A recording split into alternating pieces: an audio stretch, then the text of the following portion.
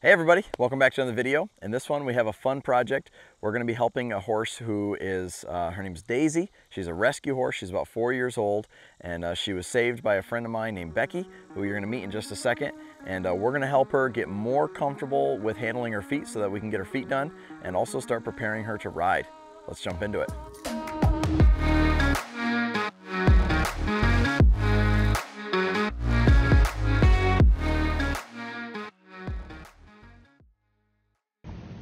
Hi are. Becky Shechuk here, and this is Daisy. Daisy is one of our rescue horses. She was rescued in February of 2021. They were shipping everything off of the kill lot in Oklahoma due to an incoming ice storm. Daisy had the cards stacked against her because she was about 200, 250 pounds underweight she was extremely. So, as we continued to get to know Daisy, I found that she was extremely difficult to handle with her feet and her legs, and she needed a trim badly. So I tried sedating her. However, even sedated, she would have nothing to do. All right, so as you can see, um, Daisy uh, is pretty committed to kicking at something. So there's a couple of different approaches. Um, we need to get her used to things touching her. And in my opinion, before we need to ask her to yield her leg, we need her to get comfortable and accepting of us touching it. She's not, if, if she's not comfortable with us touching it right off the bat, if we try to hold it, pick it up for the farrier, that sort of thing, you're not really gonna have much of a chance. So she's gotta get comfortable with that first. Um, and so to do this, I'm gonna use this flag here. Um, it's an extension of my arm, and so this makes it a little bit easier for me to to reach her and she's going to be pretty skeptical of this. You know, she doesn't have hardly any handling um, in general, um, but if we get her uh, accepting um, of us handling her feet and can work on her feet, that is actually going to make a lot of progress for other aspects, um, like maybe starting her under saddle and things like that. Okay. So you can see she's pretty leery of these things. And, you know, so you can see this is more than just, just the feet. Um, but she is really kicky with her feet.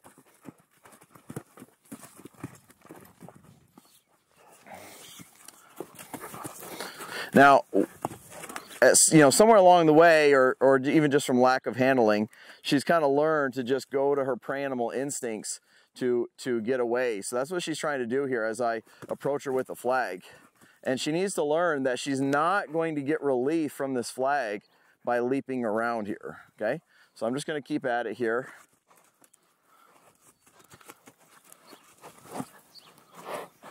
Very good. And I'm just waiting for her to soften. There she licked and chewed. She's finding a stance, so we'll take it away. Now you also see she's really inclined to want to face me. And a lot of horses that get halter started kind of later in life, um, in that process of trying to not get kicked and get a halter on them, we end up teaching them to get really sweet on facing the human, which is good, but it's also problematic because they kind of then just go to it all the time.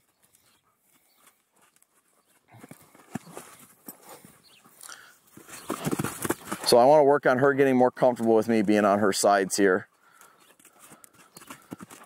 Now, she's four or five years old, and any horse that's that age learning to this, ideally she'd be learning this as a weanling, um, which would she'd be more, you know, receptive to this. So it's gonna take a little bit more time. It's gonna take a little bit of effort to uh, help her understand this. Now, with her kicking at the flag before I even get there, one of the things I'm gonna try to do is, is take it on and take it off before she kicks. and you can see, now if she's going to keep doing that, if, if I'm going to give this flag here a good try, but if she's going to keep doing that, eventually I need to put something on there that she can't kick off. Okay. There we go.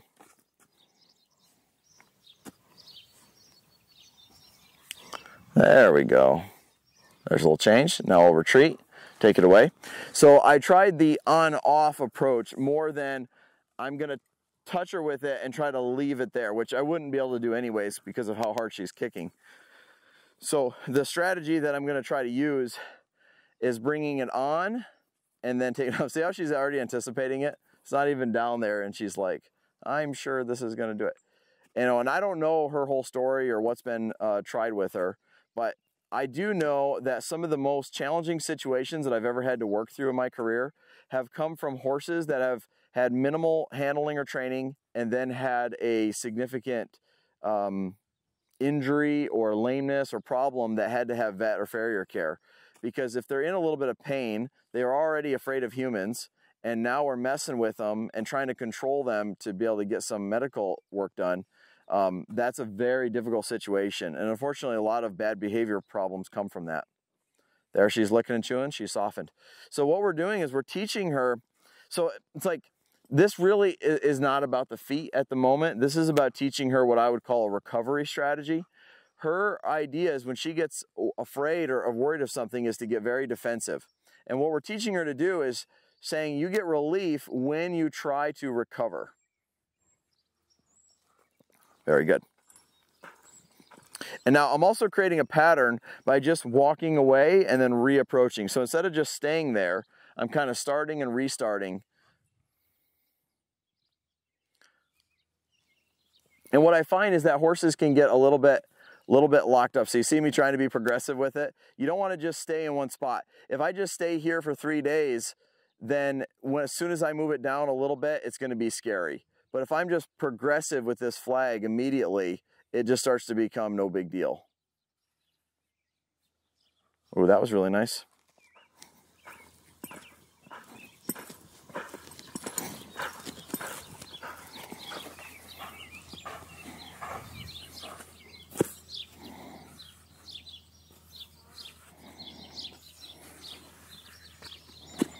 Again, try to move the flag before she kicks it. That's the name of the game. And then I'll get slower and slower with it as we go. Very nice. Now, there's two sides to this coin. There's the confidence building side where I, I go slow and I'm petting them and you're just basically just asking them to stand there and do that. And we perceive this as the good part, the nice part. But to the horse, this is a lot of pressure because we're asking them to, to get more confident with something.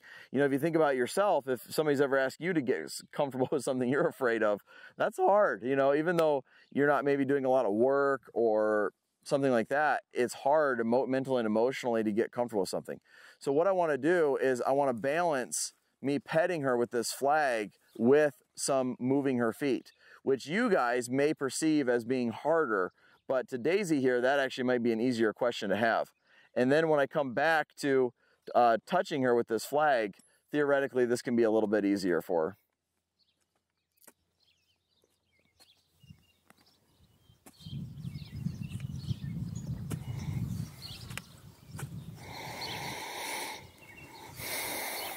So again, it's on, off. And I don't know about you guys, but to me, when I see this, I go, okay, yeah, it's it's no wonder that getting her feet done was very difficult to do or actually impossible to do. I, I, don't think they were ever ever able to do it. And you can see though, you know, um, her feet, you know, you can't really see with her standing in the sand, but her feet have been, you know, kind of breaking off and wearing down more naturally. Becky's got some really big pastures. Um, but we'd like to be able to get her feet done and maintain that properly. So we need to be able to get to this. But we're going to try to set it up and do it in a way that's with her and for her. And uh, hopefully where she doesn't feel like it's being done to her. So let's take a look at these front feet real quick. So I'm just gonna move this around, kind of big. I just kind of want to get a baseline for where she's at with those front feet.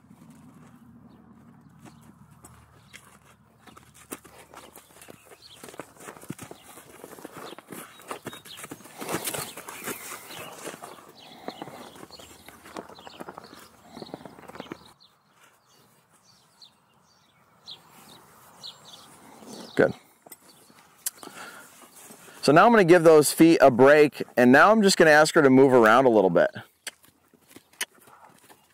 You know, you don't want to just drill for oil on something. You want to kind of approach and retreat. So I'm just going to ask her to move her feet and do a little bit of work here. And I'm, but I'm not just going to go round and round. I'm going to ask her for a lot of different yields. So we're going to ask her to yield her front end. And you'll notice I'm using the flag while we do this. And this will hopefully, you know, it's natural for a prey animal to be able to move their feet. So just asking them to stand still for a really long time and not, you know, get a, get a chance to move their feet around is challenging for them. And right now where they're living, it's a smaller pen where they can move around, but not a lot. You know, it's not like they're running around on a couple hundred acres or more. So it's just good to kind of alternate between asking them to get comfortable with something and doing a yield. And this actually will end up creating a pattern. And you can see that I'm, I am touching her with it here and there as we go. Good. With the hindquarter yield.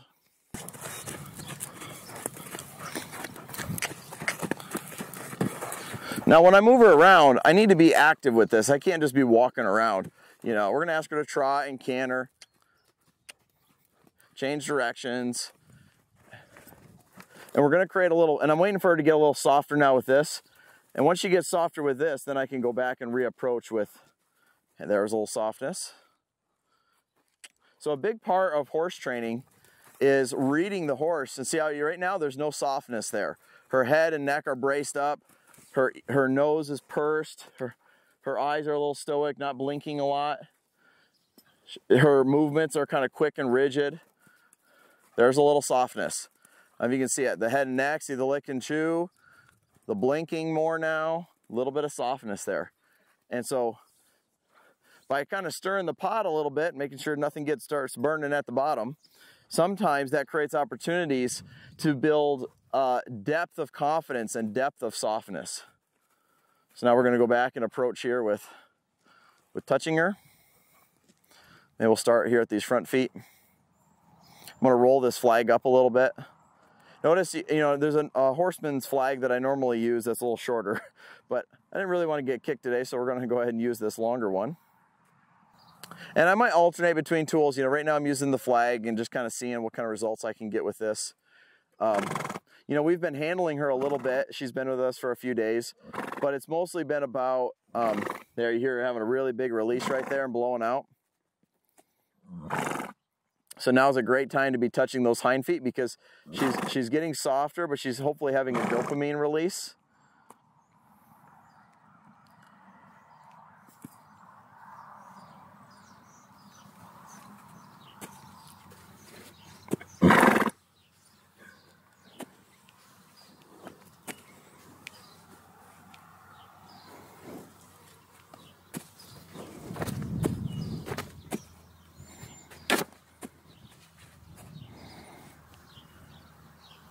There we go.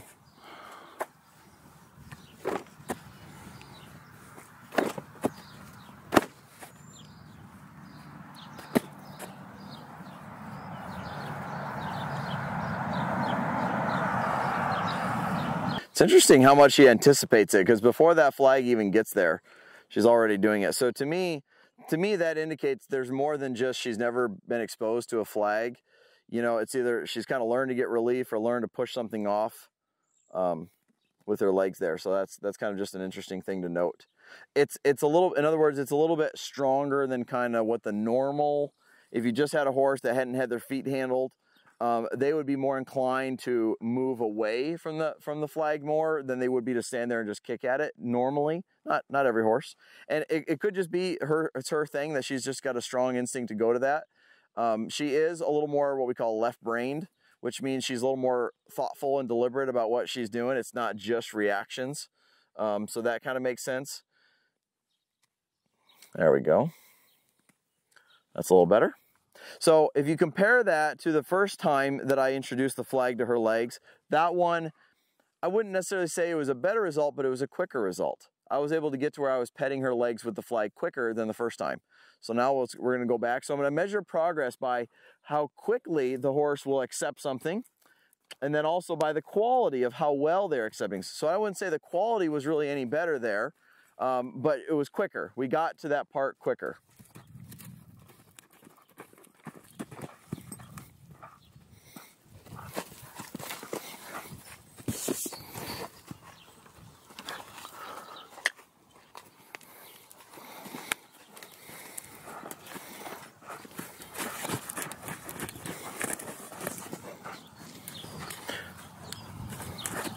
Good. So again, I'm just creating a little pattern of trotting, yield the hindquarters, and then redirect. So we're trotting, gonna yield the hindquarters, redirect the front end. You know, you could do something else too. This is just something to move her feet, get her thinking about it. It's a little bit challenging. Cantering is, a, is kind of a more emotional gait. So I know I can bring her life up there. And then that helps me to release her to her handling her feet a little bit more.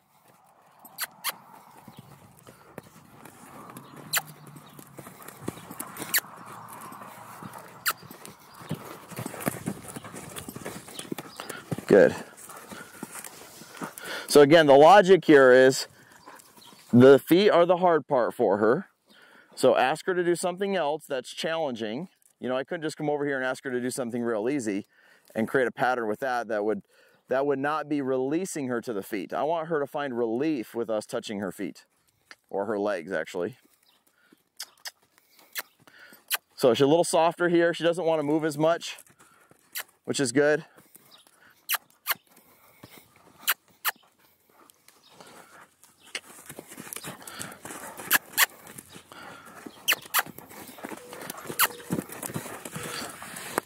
There we go. Good. Okay. I'll walk away. And again, this looks very much like the same pattern I did earlier. Gonna kind of gather up my flag here a little bit.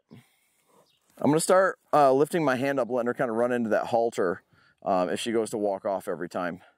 I would rather her, if she if she doesn't like the flag approaching her, I want her, you see how much rope, you know, slack there is in the rope. She can go, she can leave somewhere but it would be a better response for her to just go ahead and retreat backwards away from it than to go forward. Forward is just a very easy um, prey animal response to pressure. You know, just go faster forward. And so, so I'm not real inclined to want to just let her do, let her do that.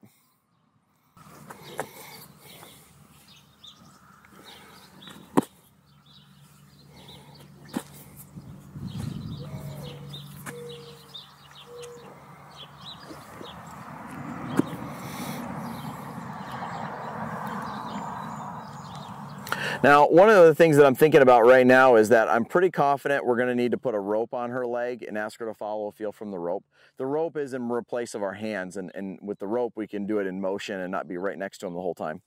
I'm pretty sure we're gonna have to do that. But what I would like to do is prepare her for that as much as possible with um, the flag and things touching her here so that theoretically when we go to the rope, um, it's uh, not as big of a deal. It's a little easier, more palatable for her the old saying, if you take the time it takes, it'll take less time.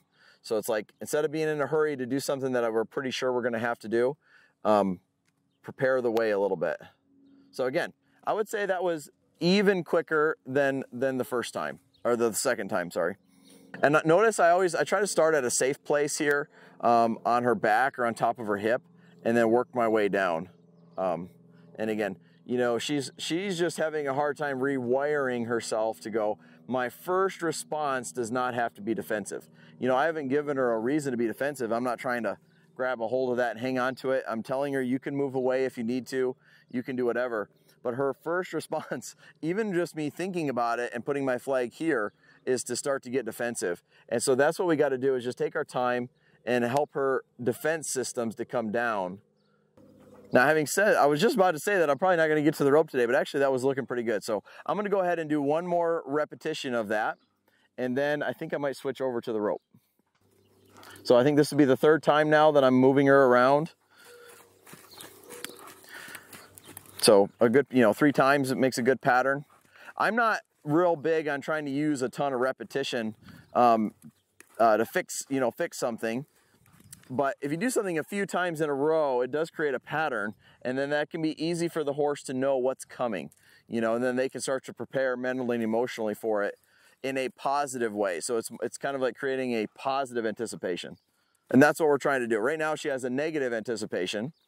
Um, but so by moving her feet around, and you can see she's getting a little lazier here, a little stickier, which is great. Uh, she, meaning, it just means she's relaxing more now.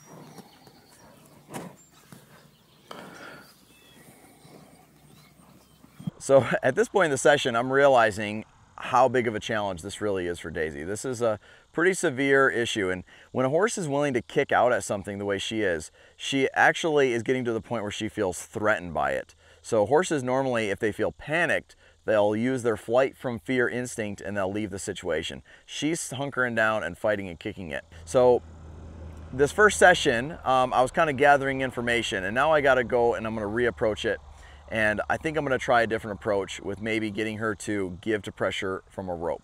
All right, so I'm back here with uh, Daisy and today's day two of tackling her, her feet prep. Um, yesterday I learned a couple things. Um, one was that the flag was just a little bit too much for her to handle without kicking at it. So if we were to continue just doing that flag over and over and over again, it might get better, but there's a good chance that we're actually reinforcing her kicking because that's what she was doing. So you got to be careful when you're training a horse that you get the equation right where you end up spending more of the time doing what you want to be doing and less time doing what you what you don't want to be doing. So like in this case, kicking at the flag is what we don't want to be doing. Um, having her legs be touched and handled without kicking is what we're after. So we're going to kind of take things to the next level here. And I just, I feel like this is kind of where it needs to go. And what I'm gonna do is I'm gonna put a lariat rope around her hindquarters and let her just pack that around. Now, hopefully I can get her used to that a little bit before I put it on a hind leg. Um, so this is gonna hopefully get a little bit more deep, um, build a little more depth of it, and um, we'll see how it goes. So you can see she's just, she's real ready to kick as soon as anything's, anything's touching her there. So what I'm gonna do here to start off with is we're gonna go ahead and we're gonna put that over her back. And we're just gonna let her wear that a little bit. And uh, what'll happen is as she goes around, it'll touch her in the hind legs like that. Now that's interesting because that's touching her leg, but she's not too bothered by it. And so, you know, it, not that it matters, but I think some of the stuff with her feet seems to be a bit man-made where she kind of learned to, to defend herself there and learn to kick. Um, you know, because like if I'm not in the equation, if I'm if I'm uh, back here, you know, she's not kicking at it. So that was interesting. So this is very interesting that she's not kicking at this rope being on her. And either that's because she's used to the ropes, or um, it's just different enough from the flag. But that's very interesting. Kind of surprised, to be honest. I did not see that coming. I thought I thought I'd be lucky to just keep this rope on her just draped over her butt here. And instead we're getting zero reaction. So, you know, maybe maybe we moved the needle more than we thought we did yesterday or uh, maybe it's something different. We'll see. It's amazing at how good prey animals are at not stepping into a loop. there we go. But I can't believe she's not kicking at the rope with it touching her legs there. So notice I got the rope high above her hock. There's a couple reasons for this. The big one is if it was down low on her leg and she starts kicking at it, my hand would be getting kind of jerked all over the place.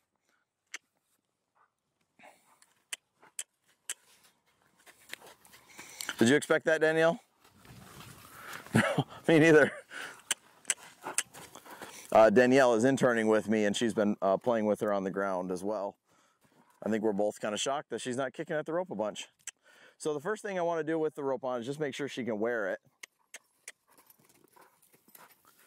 You know, and be okay wearing it, but she seems totally, totally chill with that idea. So now I want to put a feel on it. And then all I want her to do is stop. Now she stopped, but she's bracy. You can see her, her, her um, kind of resisting her leg. Now, and you got to remember, if we're trying to get her feet trimmed, we have to we have to hang on to her foot pretty well in order to, to get her foot trimmed. Now there she softened, so I'll let it go. You the farrier has to be able to hang on there pretty strong in order to, to trim the foot out and do a good job. Uh, they, you know, they can't just have it barely in the air and just brush the sand out of it or something like that. It's a little more in depth than that. So she's got to be able to handle uh, her leg being controlled for an extended period of time, even if it's just a minute or two.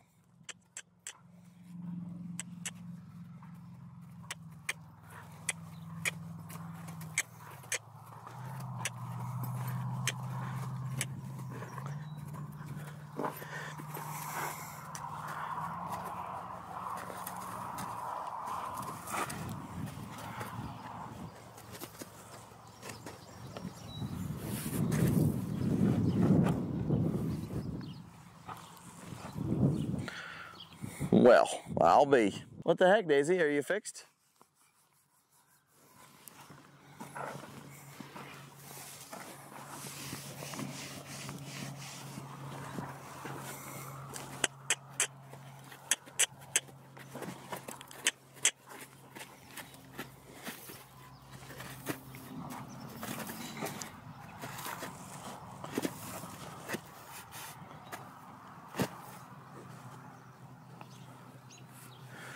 Interesting. Wow. That is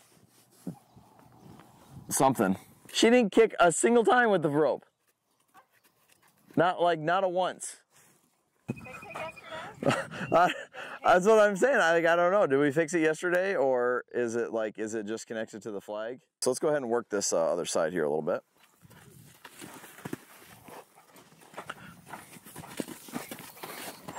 Oh, so this side's a little bit more scary. So I'm just kind of swinging on her. I'm just trying to get her comfortable with things moving, you know. Eventually, we're going to try to take a saddle pad and throw a saddle pad up on her back or something like that. Get my ropes fixed up here a little better. And what, what a horse like her is, what's tempting to do is like sneak around them and just go slow. Because if I go slow, I can get where I want to be, you know, with a little less um, movement and fluff around it but that's not preparing her, you know, for, for life and for anybody to be able to do it.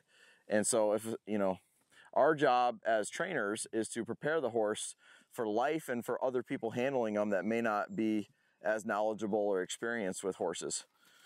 and what's an interesting concept with these rescue horses is the more value we add to them by getting them to be gentle, by being able to trim their feet, by being able to catch them, by trailer loading them, riding them, all that kind of stuff.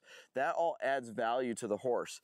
And you will see less and less horses in rescue situations with the more training that they have on. So this is a really, really crucial element to um, be able to add value to these horses by training them. Now this particular horse already won the lottery by having Becky pick her up and uh, being at Windy Hill Equine Rescue, that's a, a, an incredible facility and it's a great place for them. They get these nice big old pastures to, to romp around in. so she's already got it made as far as that goes, but would be even better for maybe more fulfillment in her life is to be able to get gentle enough where somebody wants to adopt her and uh, have them be, have her be their horse.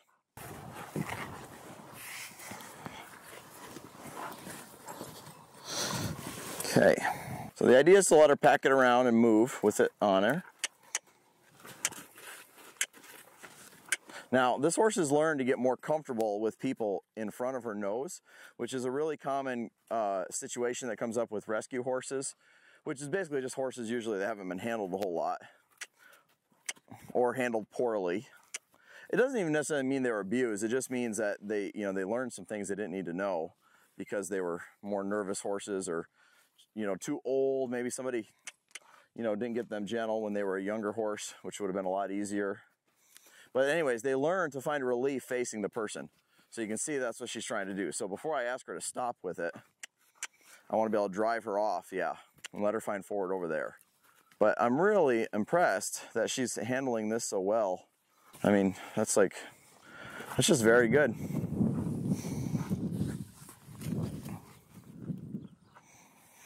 Okay, Danielle, can you go ahead and bring me the flag? So I'm gonna try a different strategy today.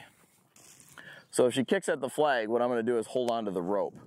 And uh, that's the, the game that we're gonna play.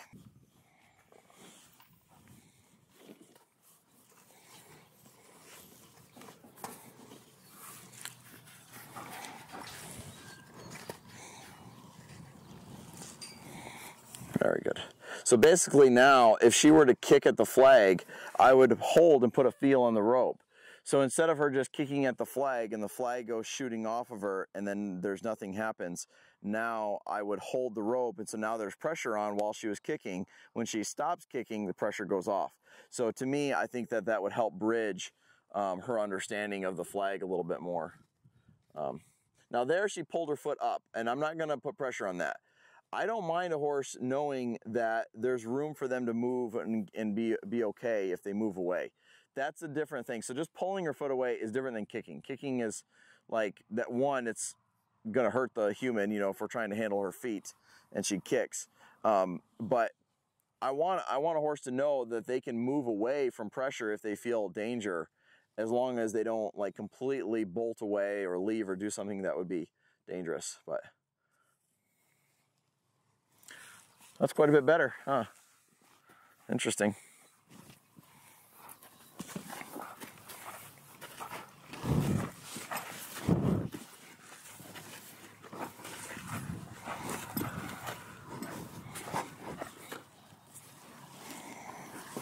I even put the gloves on today. I was I was ready.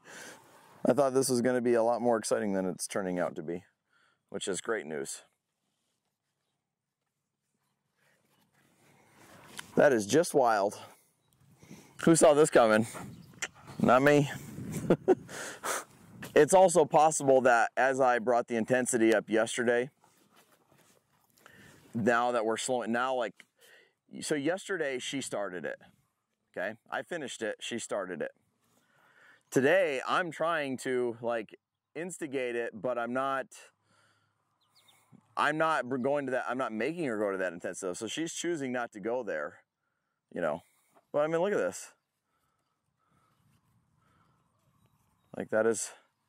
So, in a surprising turn of events, um, you know, yesterday's lesson, I did what I could with it, and I tried to leave her in a good spot but I was thinking to myself that that was not going to be the best strategy. I was thinking that I needed to put the rope on. So it just goes to show you to stay flexible and, you know, you can't, it's an important thing to not make too many assessments and judgments with a small window of time. You know, maybe a large window of time would be like 100 hours. So a small window of time is an hour. And some people might think, you know, they could make a full assessment and everything um, from less than that you know, you guys have probably seen people on the internet. They see 15 seconds of a video and they're an expert on the entire situation, and they have, they've literally just saw one glimpse of what was happening. And so, as a professional, it's important for us to stay open-minded and and read the whole situation and gather as much information as possible.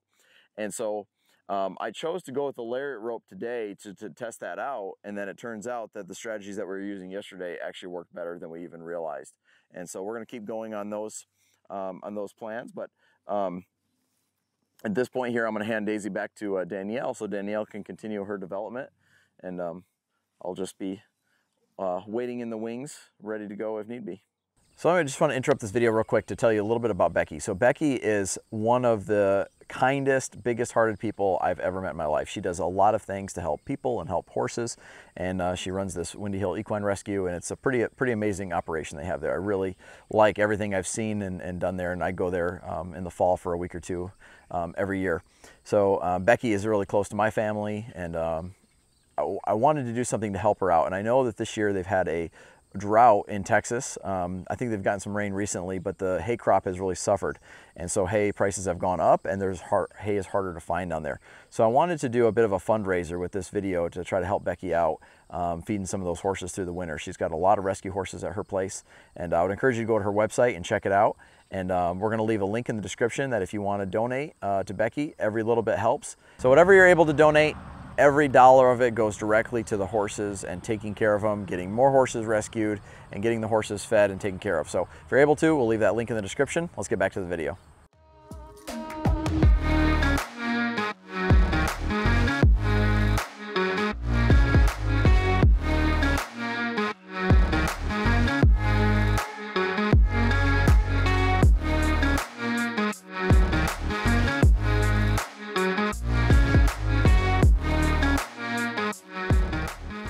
Hey guys, so I'm back here with Daisy, and um, as you guys can see, we were able to trim her feet. And I want to show you um, some of the, because we didn't get it all on video, all the training sessions that we did. I want to show you some of the key things that we were doing. So one of the first things that was really key that we were doing is we would be, every time that we would ask her to do something difficult, like say cantering a circle or maybe doing some obstacles or preparing her for saddling and riding and that sort of thing, we would then release her to this position of standing back here and rubbing her hindquarters. Okay, we would release her to this position of just petting her hind leg, just getting her really good here. Okay, the other thing is when she would go to kick, it's because she felt threatened by it. So when a horse is scared of something, they'll try to flight away from it. They'll try to leave it that way. She was to the point where she felt threatened and to the point where she would kick. Okay. And so, two things that were really important for actually holding the foot up. One is that at any time that she wanted her foot back and she kind of protested, we would go ahead and let her have her foot back. Okay. So we'd have it here. And if she were to try to pull it away at any point, I would let her have her foot back. Okay. She could just pull it away. But there's a catch. Once you have your foot back, now we're going to make that thought uncomfortable.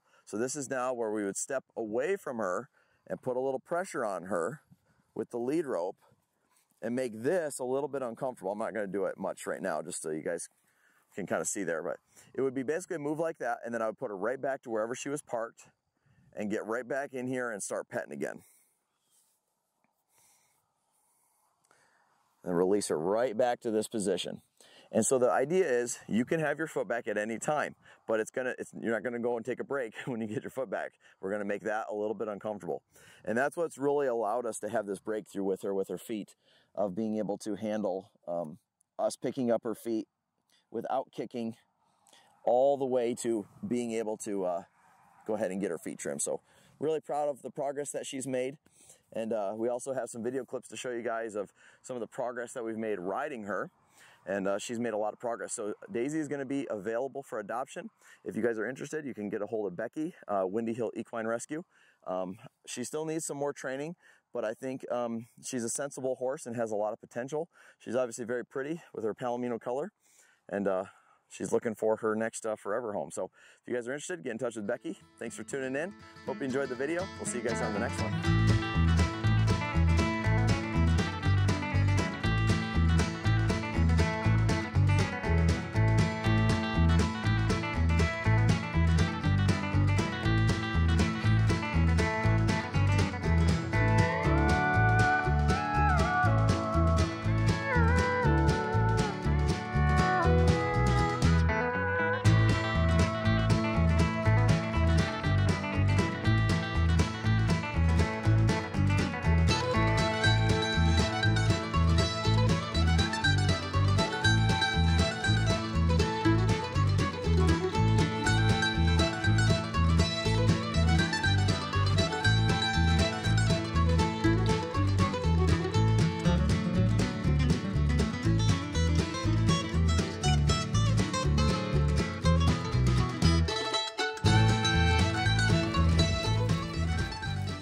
Daisy's first official ride. Looking good. Just kind of right in that between of us except the human and starting to pepper in a little bit of accepting the rider.